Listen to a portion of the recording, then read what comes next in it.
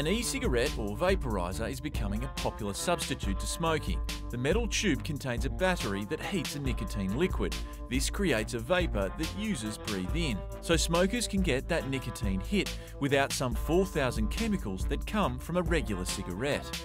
In Australia, smoking kills 15,000 people a year. In a recent global survey of 19,000 people, around 80% said they effectively substituted smoking with e cigarettes. And global sales have gone from $20 million to $3 billion in just five years.